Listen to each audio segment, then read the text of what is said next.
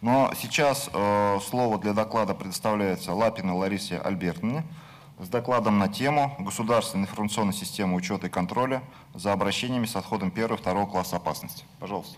Да, спасибо. Коллеги, кликер дайте, пожалуйста. А, добрый день еще раз, уважаемые коллеги. А, мне бы хотелось сегодня несколько перестроить свой доклад, так как вчера был первый день а, нашего мероприятия интересного, и после мероприятия мы получили целый ряд вопросов, когда уже общались по завершению. Поэтому немножечко практической части в начале. Я разобью свой доклад на три составные части, и начнем мы с нашего сайта, официального сайта Федерального экологического оператора. Я попрошу э, наших коллег показать этот сайт для того, чтобы... Нет, сайт сейчас включат, для того, чтобы э, показать именно тот ресурс, который мы приготовили э, для всех участников новой выстраиваемой системы с целью информирования каждого участника о том, что происходит. Итак, наш сайт, на нашем сайте Федерального экологического оператора есть э, ряд баннеров. Если мы прощелкаем эти баннеры, по баннеру, пожалуйста, щелкните дальше, есть большая вставка ГИС ОПВК.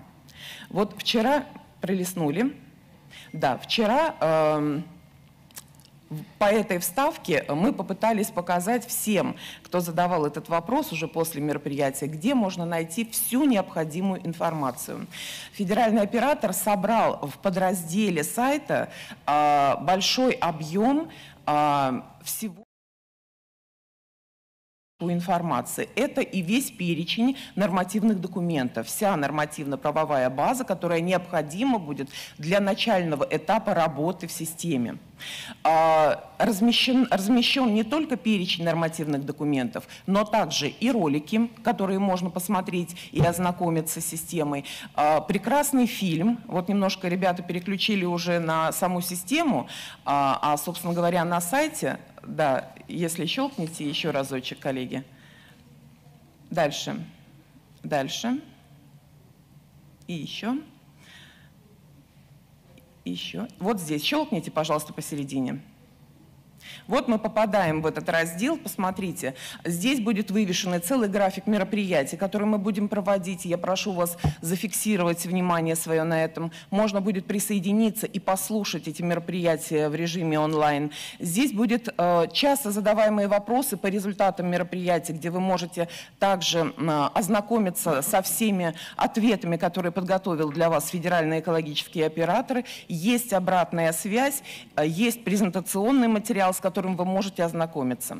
Вот с этого мы начнем э, с вами работу в системе ГИСа ПВК. Ознакомление со всеми законодательными актами для того, чтобы у вас сложилось уже более полное представление, что законодатель нам э, значит, подготовил для работы в 2022 году, ну, начи, начиная с 2022 года. А второй блок, на котором бы я хотела заострить свое внимание, если можно вернуться опять на наш сайт и нажать еще разочек на кнопку. Это блок тестирования. А, на нашем сайте на верхней панели есть кнопка ГИСа ПВК. Вот с 1 сентября эта кнопка стала активным. Зайдя по этой кнопочке, вы попадаете на стартовую страницу государственной информационной системы учета и контроля за обращением с отходами э, первого и второго классов опасности. Также а, мы подготовили вместе с нашими разработчиками а, большой блок информативный. С правой стороны вы увидите как пройти регистрацию, зарегистрироваться в системе. А, э, для того, чтобы зарегистрироваться сейчас э, и пройти это тестирование, необходимо будет согласиться с условиями тестирования. Нажав на эту кнопку, вы как раз-таки ознакомитесь, что необходимо сделать для того, чтобы быть э, зарегистрированным в ней и посмотреть весь функционал, который разработан в ограниченном доступе, конечно, в личном кабинете поставщика информации. А, прописаны, как дать права доступа доступа сотруднику вашей компании, прописана памятка участника. Из, мы сняли несколько роликов, очень подробно рассказывающих о том, а, как можно а, в данной системе вводить необходимую информацию. Вот с этого хотелось бы начать, э, скажем, свой доклад, немножко практических акцентов для того, чтобы вы понимали, э, что на сегодняшний день у нас в какой стадии происходит в системе. В систему мы на стадии тестирования даем доступ ограниченный только к отдельным модулям. Вы сможете зайти, внести свои данные а, в личном кабинете, создать его, а уже сейчас а, будем разговаривать в рамках пилотного проекта. А, те участники в Татарстане, кто участвует в пилотном проекте, им будет более расширенный доступ позволен, и об этом я сейчас буду рассказывать уже в третьей части своего доклада по пилотному проекту, как мы будем работать с учетом разработанного в большей части функционала государственной информационной информационной системе. А теперь попрошу ребят презентацию.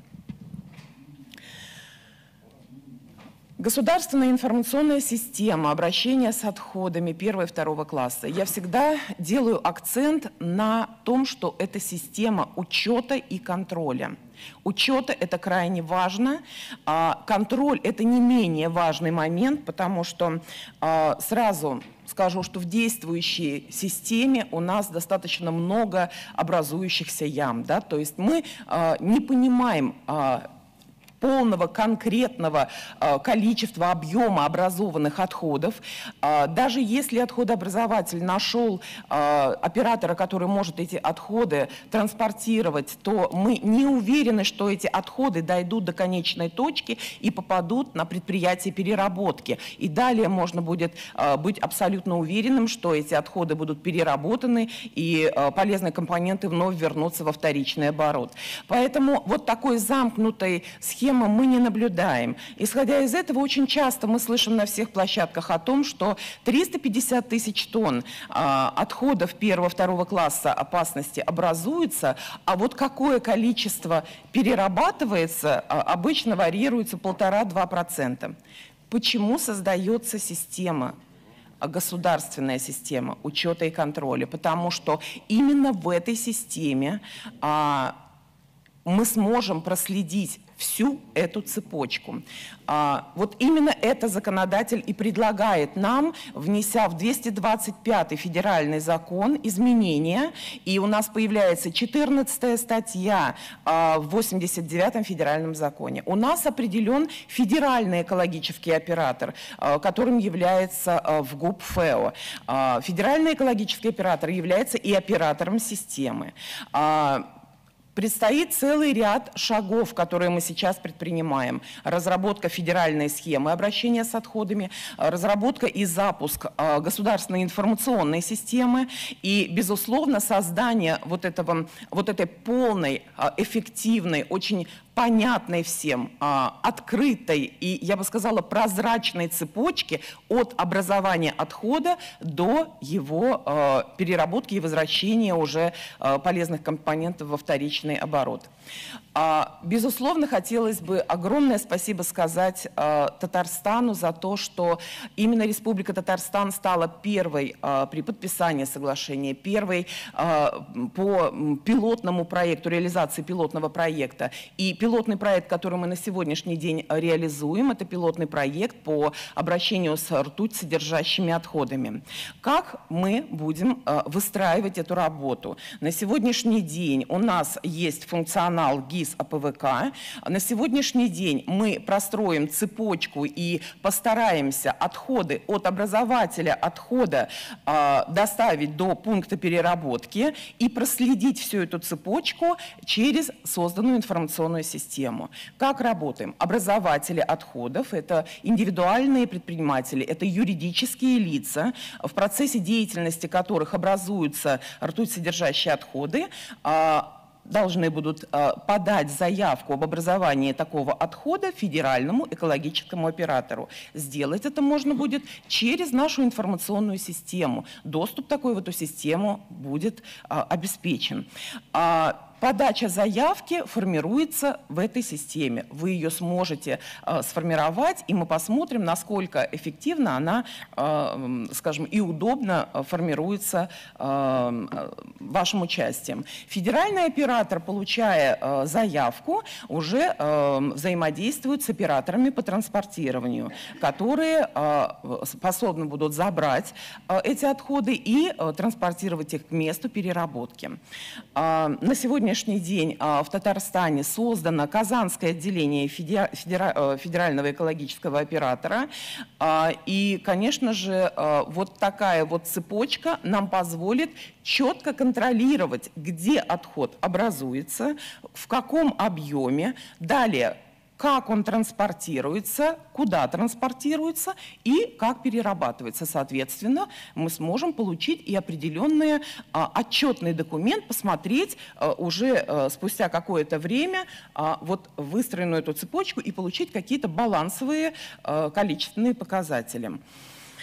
Ну, вот мы создали такую табличку для большего удобства. Таких э, вот э, форматов мы сделаем достаточно много и обязательно организуем еще дополнительные мероприятия со всеми участниками этого процесса для того, чтобы по каждой роли очень подробно рассказать и объяснить, как мы будем работать.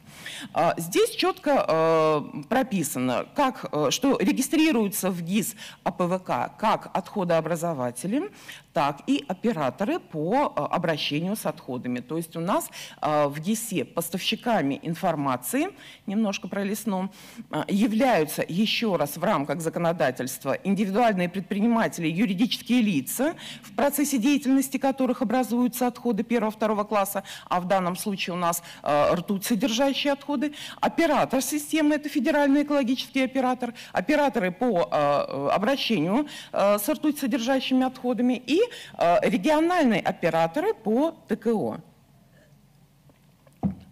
Значит, все должны будут зарегистрироваться в системе. А, регистрация в системе а, на сегодняшний этап мы сделали пока на первый этап регистрацию и вход через логин и пароль. А, чуть позже будет открыто через а, единую информационную систему, как это будет уже после ввода системы в промышленную эксплуатацию. Мы позволим вам и попробуйте зарегистрироваться и посмотреть, как создать личный кабинет. Далее. Подача заявки. Заявка формируется достаточно просто. Мы не один раз опробировали этот элемент, поэтому надеемся, что вместе с вами общими усилиями это сделаем. И э, подбор транспортировщика. Э, подача предложений, э, ее мы также осуществим э, в ГИСа ПВК по транспортированию РСО. Ну и далее уже, конечно, э, будет договорной блок, э, который также предусмотрен в нашей государственной информационной системе. Э, и, соответственно, э, вот все всю эту цепочку пошагово мы с вами постараемся реализовать. А, что необходимо поставщику информации? Ну, во-первых, необходимо программно-аппаратный комплекс, усиленная, квалифицированная электронная подпись. А, регистрация осуществляется, еще раз повторюсь, через а, единую систему идентификации и аутентификации в инфраструктуре, обеспечивающей а, взаимодействие информационных систем. То есть все эти элементы вы очень подробно можете пройти, изучить в той законодательной базе, которую мы подготовили для вас и разместили на нашем сайте. Останавливаться более подробно сегодня я на ней не буду. И не переключается.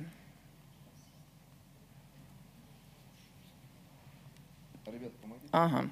Ну, вот давайте посмотрим так. Значит, э, федеральным экологическим операторам а, получена ли, лицензия на а, обращения с отходами первого-второго класса и в Республике Татарстан э, у нас создан э, производственно-технический комплекс по обработке, утилизации и обезвреживанию отходов первого-четвертого классов, в том числе и ртуть содержащих. Буквально вчера мы э, также посетили этот комплекс. Значит, на, в этом комплексе имеется необходимое оборудование для переработки. Это установка демеркуризации ОРЛ 2М. А, производительность ее 240 тонн в год, это где-то 600 тысяч штук ламп в год по типам. Поэтому вот все необходимое для того, чтобы мы с вами сегодня первыми в рамках пилотного проекта попытались выстроить всю эту цепочку взаимодействия э, участников системы э, готова. И э, я полагаю, что совместными усилиями э, с нашими коллегами, да, Александр Валерьевич, мы э, постараемся этот пилотный проект э, сделать э, с очень положительным эффектом и в дальнейшем э, постараемся тиражировать этот проект проект на регионы. Уже сейчас внимание регионов приковано э, к их государственной информационной системе. Я могу вам сказать, что буквально вот утром получили первую сводку о том, э, какое количество компаний э, смогли э, зайти э, в ГИСа ПВК и пройти э, э, каждый шаг по э, регистрации и первичному вводу информации. Я бы отметила, что здесь есть компании и из Республики Татарстан, из Красноярска, Красноярского края, Самарской области, Челябинской, Республика Коми, Белгородская область, Республика Алтай, Курганская область, Кемеровская область и Хакасия. Это вот за первые сутки э, интерес к нашей системе э, достаточно серьезен у э, компаний, в первую очередь операторов по обращению с отходами и также у отходообразователей. Поэтому мы очень надеемся, что э, получим по результатам этого тестирования тестирование, еще раз повторюсь, оно в очень ограниченном доступе пока дано для всех участников. Получим обратную связь, получим обратные предложения, посмотрим, насколько вам удобно и комфортно работать будет в своем личном кабинете. И по форме обратной связи будем очень благодарны получить обратный отклик. Что касается э, реализации пилотного проекта, то мы постараемся э, проинформировать всех отходообразователей, проинформировать операторов э, по дополнительным э, мероприятиям, которые обязательно подготовим сейчас и проведем для того, чтобы нам с вами э, вот сделать все шаги для простроения этой цепочки в рамках реализации нашего пилотного проекта. Коллеги, интересный проект поэтому приглашаю, безусловно, войти в систему, потестировать ее, ну а с коллегами в рамках пилотного проекта по реализации и переработке а, ртуть содержащих отходов, я думаю, что мы очень подробно проделаем все шаги и в последующем обязательно расскажем о том, с чем столкнулись в рамках реализации проекта, как он у нас реализо реализован был, а, как, какие результаты мы впоследствии получили, конечно, и такое мероприятие обязательно организуем. Вот на этом сегодня мне бы хотелось завершить свой доклад и пожелать нам всем большой удачи. Спасибо большое, Александр Альбертович. Можно? Конечно, Я тоже пару слов.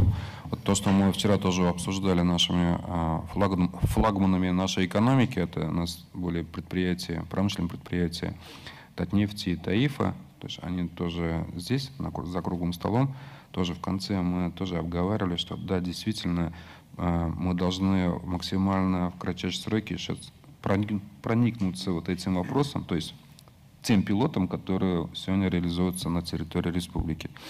И я уверен, с коллегами вот Роспроднадзора, Второй Супич, мы дальше также мы э, должны просто обязаны прорабатывать, уже довести до каждого промышленного предприятия, что эта тема актуальна. Вот коллеги из Государственного совета депутаты тоже, я думаю, это актуально будет поднять, чтобы мы на уровне уже и нормативно-правовых актов обязательства э, должны быть перед всеми нами, чтобы как можно оперативно все это реализовывать. Рахмат Бекзор, спасибо большое, Альбертовна, за ваше выступление, за ваше участие. Спасибо.